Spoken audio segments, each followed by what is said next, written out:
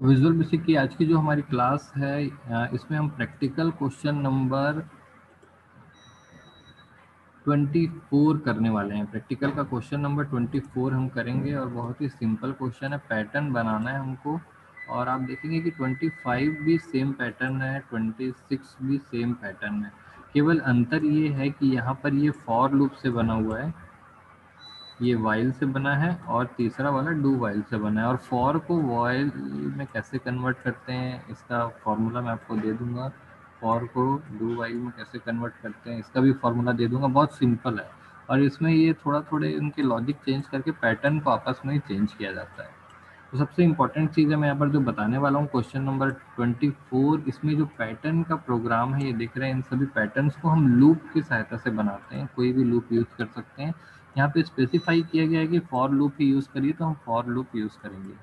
अब यहाँ पर आपको देखना है कि पैटर्न को बनाने का दो स्ट्रक्चर होता है। दो स्ट्रक्चर में हम नंबर्स को चेंज करते हैं और पैटर्न बनाते हैं।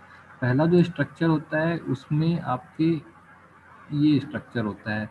नेस्टेड लूप एक आउटर लूप होता है और एक इनर लूप होता है। आउटर लूप रो, रो के लिए होता है और इनर जो है वो कॉलम के लिए होता है।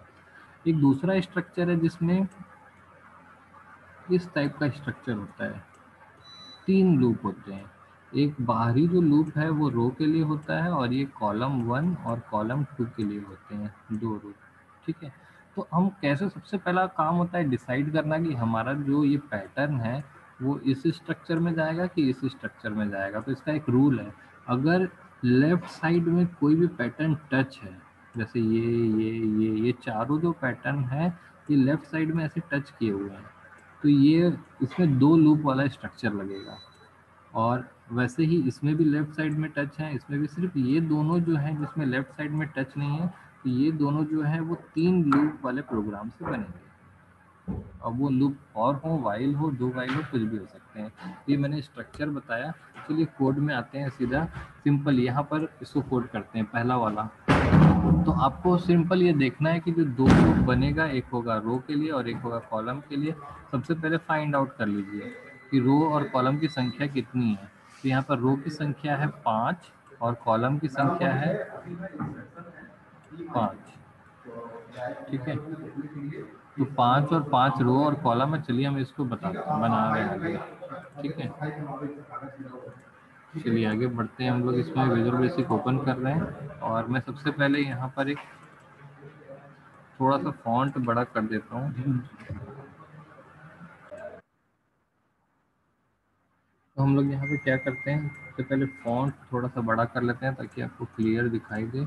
और यहाँ पर मैं एक बटन बनाता हूँ, जिसमें मैं लिख देता हूँ पी वन यानी कि पैटर्न वन खुद भी लिख सकते हैं पैटर्न वन अब मैं इसमें कोड करता हूँ और दो लूप आपको करना है। सबसे पहले आप लिखिए डिम आर एज इंटीजर और डिम सी एज इंटीजर ये इसलिए लिखें क्योंकि रो और कॉलम के लिए हमको बनाना है और एक लूप बनाइए for R equal to one to five मैंने वन टू फाइव इसलिए लिखा क्योंकि पाँच रो हैं। बाहरी लूप हमेशा रो के लिए रहेगा। For C is equal to one to five और अंदर वाला जो लूप रहता है, ये दो, ये वाला जो स्ट्रक्चर है, मैं पहले बताया हूँ कि दो लूप वाला स्ट्रक्चर यूज़ करते हैं, जहाँ पर हमको इस तरीके का पैटर्न यूज़ करना होता है। तो यहाँ पर रो की संख्या पाँच है कॉलम की संख्या पाँच है, इसलिए one to five and one to five simple और यहाँ पर जो प्रिंट हमारा पैटर्न है, उसको हम प्रिंट कर देंगे। ये हमारा और यहाँ पर होगा प्रिंट ब्लैंक ये स्ट्रक्चर हमारा रेडी है, दो लूप वाला। इसको मैंने अभी थोड़ा देर पहले कुछ इस तरीके से बताया था कि एक लूप होता है और उसके अंदर एक और लूप होता है। ये होता है रो के लिए और ये होता है कॉलम के लिए। क्लियर है? केवल ये पैटर्न को चेंज करके और ये नंबर को चेंज करके अलग अलग लूप अलग अलग पैटर्न जनरेट किए जाते हैं। तो अब देखिए, बहुत ही सिंपल सा है। ये ये जो हिस्सा है, ये चेंज नहीं होगा। केवल नंबर्स चेंज होंगे और ये चेंज होगा। तो देखते हैं क्या होता है। सबसे पहले इसको हम रन कराते हैं। तो मैंने इसको रन कराया और ये आप देखने वाले हैं कि इसका आउटपुट क्या आ रहा है। तो सबसे पहले इसका जो आउटपुट है वो देखिए आप नीचे आ जा रहा है। इसकी वजह से क्या हो रहा है यहाँ पर विजुअल बेसिक में जो स्लैश एन रहता है उसको हमको यहाँ पर सेमी कोलन लगाना होता है। तो स्लैश एन जो है वो एक्टिव हो जाता है आपका यानी कि लाइन चेंज होनी बंद हो जाती है। ओके सॉरी स्लैश एन यहाँ लगाना है। स्लैश एन को रोकने के लिए। ठीक है? तो ये कोड हमारा रेडी है और ये हमारा आउटपुट आ गया है फ़र्स्ट वाला जो हम यहाँ पर देख रहे थे। ये वाला जो आउटपुट है वो आ गया है पाँच रो और पाँच कॉलम का। ठीक है?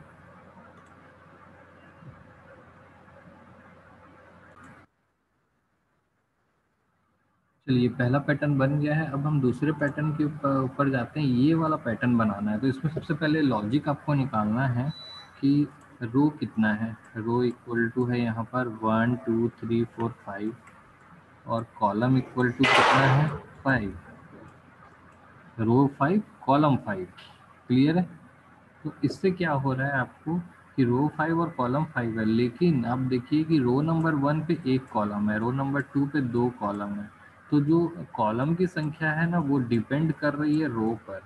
तो कुछ भी नहीं करना है, हमारा जो कोड है उसमें ज़्यादा चेंजेस नहीं करना है। आपको सबसे पहले मैं एक नया बटन यहाँ पे बना लेता हूँ P2 P2 बटन मैंने बनाया। P2 ठीक है? अब आप यहाँ पर थोड़ा सा चेंज करेंगे P2 में मैंने क्या किया? P1 का पूरा कोड यहाँ से कॉपी कर लिया सेम टू सेम और पेस्ट कर दिया यहाँ पर। मुझे कुछ भी चेंज नहीं करना है। सिर्फ़ क्या करना है? रो और कॉलम की संख्या पाँच पाँच है ना? तो कॉलम की संख्या जो है वो रो पे डिपेंड करेगी, आर लिख देना है। क्योंकि जितने रो रहेंगे, उतना ही कॉलम बनेगा। सिर्फ़ ये पाँच मिटा के आर लिखना है अब देखिए क्या होता है। ये वाला पैटर्न ठीक है? तो जब आप इस पर क्लिक करेंगे तो ये वाला पैटर्न बनेगा। यहाँ पर जो दिख रहा है वो पहला पैटर्न था P1 वाला और ये सेकेंड पैटर्न है P2 वाला। क्लियर है ऐसे दो बटन बन गए।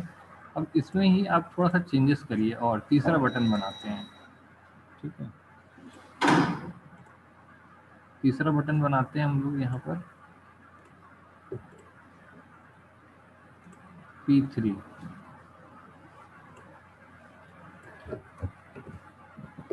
अब आपको यहाँ पे समझ में आ रहा होगा कितने बटन बनेंगे। एक दो तीन चार पाँच छः सात आठ बटन बनेंगे वहाँ पर ठीक है, और अगर पुराने इसको क्लियर करना है तो सी एल एस भी लिख सकते हैं यहाँ पर क्लियर स्क्रीन जैसे काम करता है।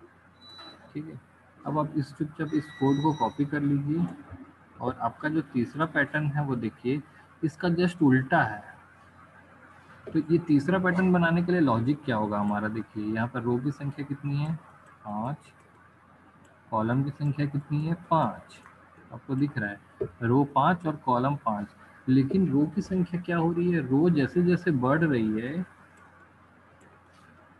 कॉलम वैसे वैसे कम हो रहा है। देखो, पहला रो है तो पाँच कॉलम, दूसरा रो है तो चार कॉलम, तीसरा रो है तो तीन कॉलम। रो बढ़ रहा है, कॉलम कम हो रहा है। क्लियर है? रिवर्स, इसमें रो बढ़ रहा था तो कॉलम भी बढ़ रहा था। ठीक है, इसमें रो बढ़ रहा है तो कॉलम कम हो रहा है। तो इस फॉर्मूला को अप्लाई कर दूँ। कुछ नहीं करना है, आपको चुपचाप ये वाला कोड आपको कॉपी पेस्ट करना है। ये वाला सेम जहाँ पर आर लिखा है, वहाँ पर मैं लिखूँगा six minus R six minus R क्यों? जब कॉलम की सिक्स माइनस आर इसलिए लिखे हैं कि अगर रो की वैल्यू वन होगी तो कॉलम की वैल्यू क्या होगी? सिक्स माइनस वन यानी कि फाइव जब रो की वैल्यू टू होगी तो ये क्या होगा? Six minus two equal to four ये चीज़ जो मैंने बताया, वो आपको समझ में आ रहा होगा। कि जब रो की वैल्यू वन है तो कॉलम की वैल्यू क्या होगी? सिक्स माइनस वन, यानी कि फाइव। जब रो की वैल्यू, यानी सेकेंड रो होगा तो कॉलम क्या होगा? सिक्स माइनस टू, यानी कि फोर। यानी कि ये कम हो रहा है और ये बढ़ रहा है। तो कुछ भी नहीं किया मैंने, बस सिक्स माइनस आर लिख दिया यहाँ पर। तो ये मेरा तीसरा पैटर्न जो है, वो जनरेट हो गया है। तो मैंने यहाँ पर तीसरा पैटर्न जनरेट कर दिया।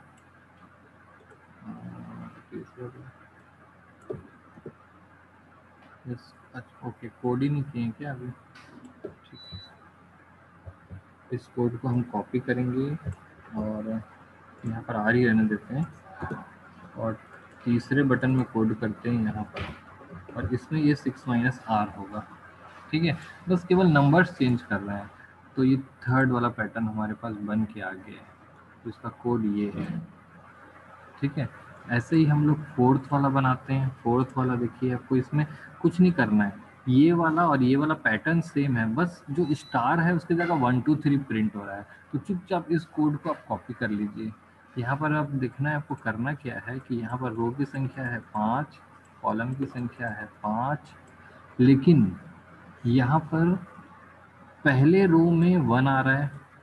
पहले रो में वन आ रहा है, दूसरे रो में टू आ रहा है, तीसरे रो में थ्री आ रहा है। यानी कि रो को प्रिंट कर रहे हैं। किसको प्रिंट हो रहा है ये? रो प्रिंट हो रहा है। अब देखिए, पाँचवें रो में पाँच आ रहा है। तो रो की संख्या प्रिंट हो रही है। तो कॉलम के बदले वो रो प्रिंट करेगा। क्लियर है? चुपचाप इस कोड को कॉपी करते हैं और पैटर्न चेंज कर देते हैं। चलिए। तो मैं चौथा जो है ओपन करने वाला हूँ अपना। सेकंड वाला जो मेरा था P1, P2, P3 तो मैं सबसे पहले एक चौथा बटन बनाऊँगा P4 ठीक है ऐसे P8 तक जाएगा।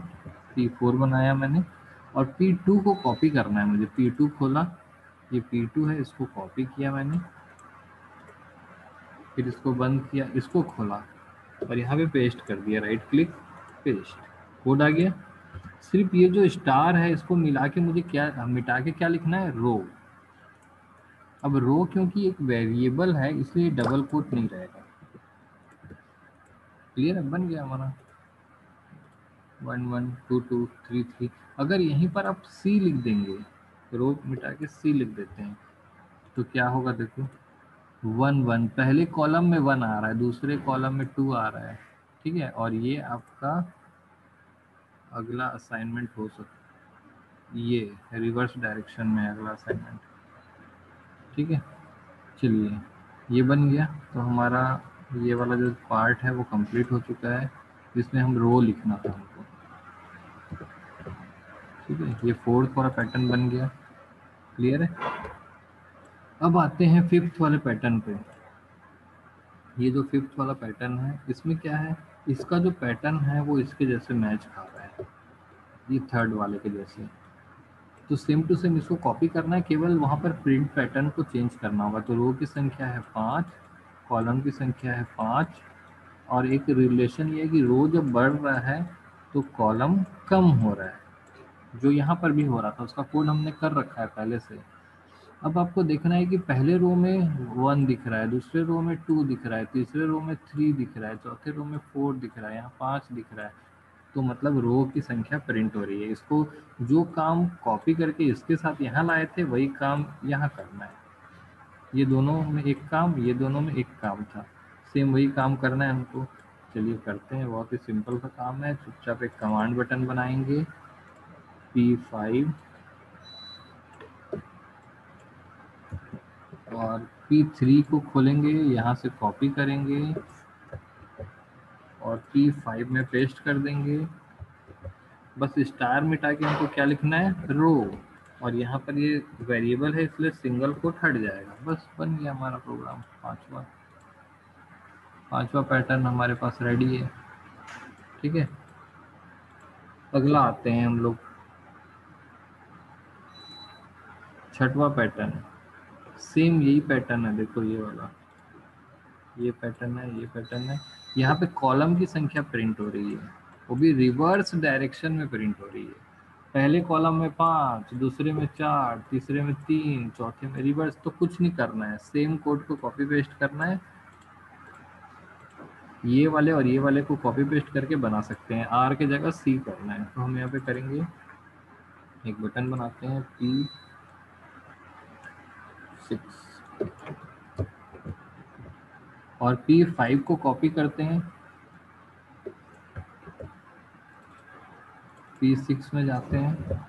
यहाँ पर सिर्फ़ R लिखा है ना, उसकी जगह C लिख देना है। और देखो आपका पैटर्न रेडी हो गया यहाँ पर। और आप चाहो तो इसको रिवर्स डायरेक्शन में जब सी प्रिंट करा रहे हो तो ये लिख सकते हो। ओके, यहाँ पर हम लोग लिखे थे। देखो, ये प्रिंट हो रहा है। अब आपको देखना है कि आपका जो प्रिंट हो रहा है, ये वन वन वन वन हो रहा है और ये ऐसा प्रिंट हो रहा है। और हमको चाहिए कैसे था? ऐसा चाहिए था। फाइव चाहिए था। तो वहाँ पे वन हो रहा है। तो क्या करोगे यहाँ पर? कुछ नहीं करना है। सिक्स माइनस सिक्स फाइव हो जाएगा। वन को फाइव में कन्वर्ट कर सकते हैं। आगे अपना अगला पैटर्न अब इसके बाद जो दो पैटर्न है, वो तीन तीन लूप वाले हैं। इनको हम पार्ट टू वाले वीडियो में देखेंगे। लेकिन साथ ही साथ हम इसको फॉर लूप को वाइल लूप में भी कन्वर्ट कर सकते हैं। ठीक है तो ये पैटर्न का हमारा प्रोग्राम था।